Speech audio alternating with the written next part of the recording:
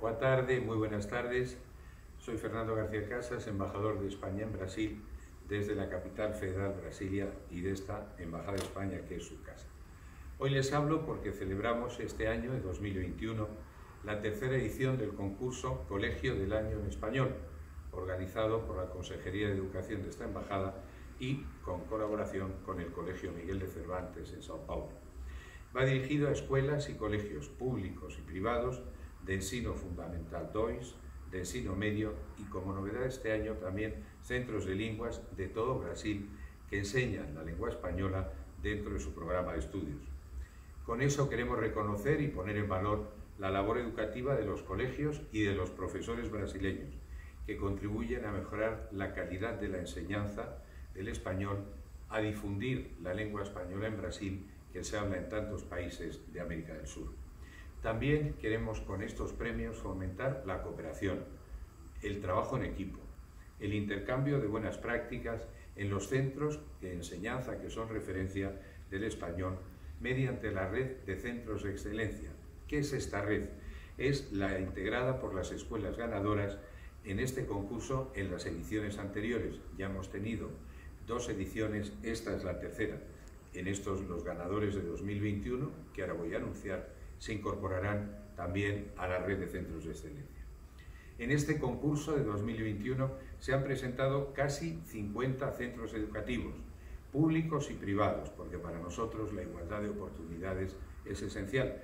Y fíjense, nada menos que de 15 estados brasileños, del norte a sur, del este al oeste, Alagoas, Acre, Ceará, Espíritu Santo, Distrito Federal, Maranhão, Mato Grosso, Paraíba, Piauí, Paraná, Río de Janeiro, Río Grande do Norte, Río Grande do Sur, Santa Catarina y Sao Paulo. Nos gustará que en el futuro todos los estados de la Federación participen con centros de enseñanza propios. 2021 ha tenido un curso escolar muy complicado por cuenta de la pandemia. Mantengan por favor los cuidados, usen las máscaras, usen alcohol gel, vacúnense. Y con un primer semestre en educación a distancia, online, y la vuelta a la enseñanza presencial en la mayoría de los colegios en el segundo semestre.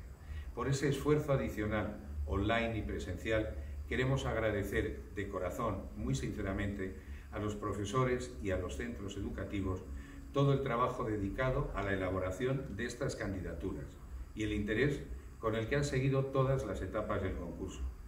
Los proyectos presentados reflejan el compromiso de todos sus centros con la enseñanza del español, para un mayor futuro de oportunidades para sus alumnos y son muestra del excelente trabajo tanto de los profesores y de las profesoras como de los alumnos.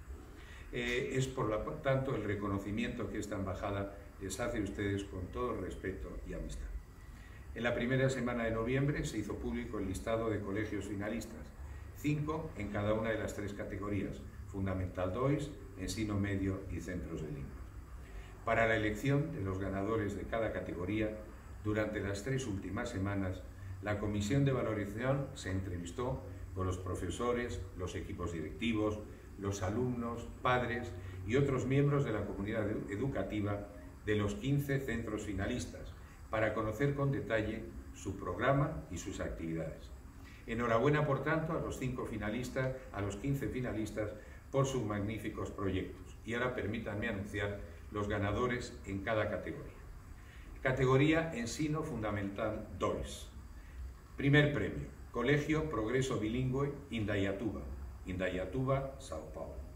Segundo premio, Centro Educacional Colegio Cultura, Brusque, Santa Catarina. Tercer premio, Colegio Maribar, Sao Paulo, Sao Paulo. Enhorabuena a los tres ganadores del Ensino Fundamental 2. Centros ganadores de ensino medio. Y ahora voy a invertir. Tercer premio, Colegio Monteiro Lobato, Porto Alegre, Río Grande do Sur. Segundo premio, Escola Sesti de ensino medio, Río de Janeiro, Estado de Río de Janeiro. Y primer premio, Instituto Federal de Sao Paulo, Campus Capivari, Sao Paulo.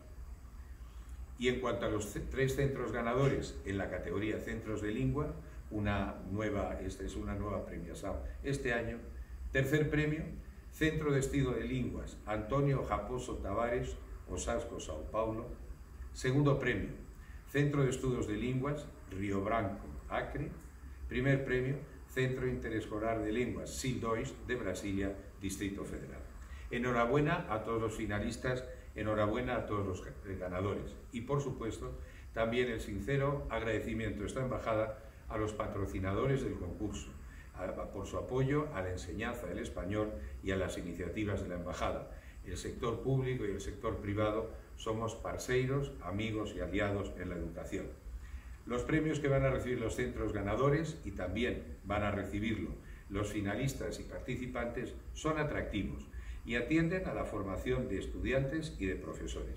Fíjense, incluyen cursos presenciales para profesores en España y en Argentina, becas para estudiar un grado en España dirigidas a estudiantes, formación a distancia, equipamiento informático y recursos y materiales didácticos de todo tipo para que entre todos y con estos materiales continuemos aprendiendo. Y para terminar, me complace mucho poder anunciarles la cuarta edición del concurso que lanzaremos en 2022, un año importante porque es el bicentenario de la independencia de Brasil y también Brasilia será la capital iberoamericana de la cultura de los 22 países que hablamos en portugués y en español. Esperamos contar con la participación de todas las escuelas que se han presentado este año y con la participación de otras escuelas que se incorporen. Su esfuerzo nos honra y nos anima a continuar. Y por ser las fechas que son, permítanme desearles Bon Natal, feliz Año Nuevo y muchas gracias por su atención, su trabajo y su esfuerzo.